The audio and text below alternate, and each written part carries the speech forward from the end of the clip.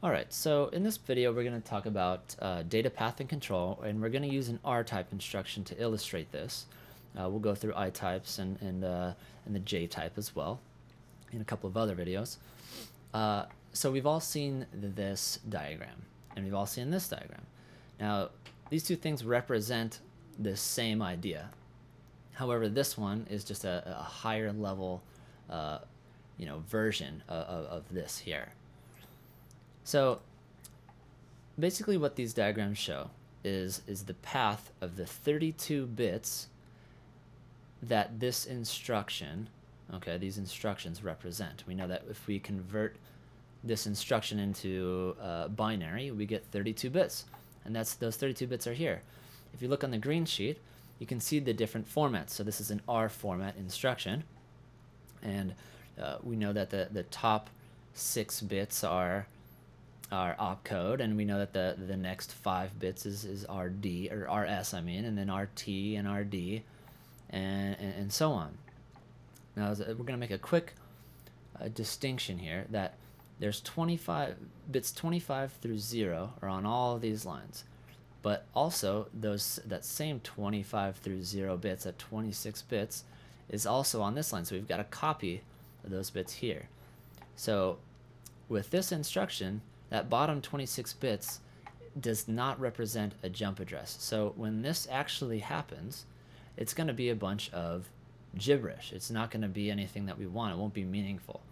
And that's why we have these multiplexers, which make which make decisions based on what is meaningful to us uh, in this instruction, in these instructions, and what's not. So we have to control those multiplexers and, and we do that with this control unit up here. Now, our opcode, this that top six bits, as you can see here, goes into the control, gets decoded, uh, and, and the proper values get put onto these control lines here, and again make those decisions for us uh, for the rest of uh, this hardware. So in the case of, of an add instruction, we're going to use the two registers in the bottom. We want to get those the value out of those registers and we're going to add them together in the ALU.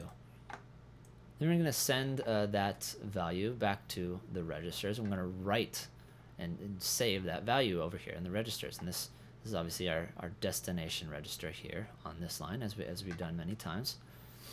And then we've got our program counter, because we need to get to the next instruction. And you can follow these lines. We're simply adding 4, so we can get to the next instruction. That's the point of doing that and then we can uh, use that as our next program counter. But obviously, uh, we need to control all of these things. We actually need to make these decisions, like which one we're actually going to use, which lines we're going to use. So here's our control unit. So we've got zeros on the dotted lines and ones on the solid lines. And then we've got orange here on, on our ALU op. And, and that's because the ALU op is probably one of the most confusing uh, parts of, uh, of the control unit because uh, you know it can make it can make some really uh, interesting decisions for us. So we've seen in, in one of our worksheets uh, that sending the ALU control a one zero. This is this is uh, ALU op zero and ALU op one. Okay, if you look on your sheet, you'll know what I'm talking about.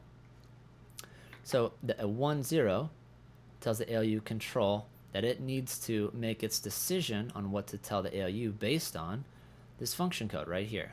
Okay, this is, this is bits 5 through 0 here. Okay, and then it adds them together and we our, our cycle is complete. So, and you can also see down here on this diagram, kind of the higher level. We, we fetch our instruction here. We read from our two registers here. We add the two values in this one. We're not using memory. We're not uh, reading or writing to memory here, and you can see that in our control lines. And then we're writing uh, back to a register, writing this value back to our, our RD register. Okay?